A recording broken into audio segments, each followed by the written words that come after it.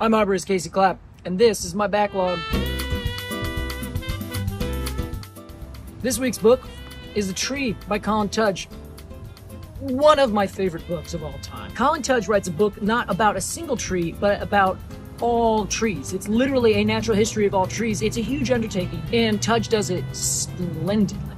This is the book that initially introduced me to the question of what exactly is a tree, and then Colin Tudge goes in depth discussing that question. It covers damn near everything you could ever want to know about a tree, and likely a lot more. The questions of competition versus cooperation in trees, what is wood? Whether that's taxonomy, the sex lives of banyan trees, why are leaves, or the nitty gritty of hormonal response in how it affects the circadian rhythms, whatever you want. It's in this book.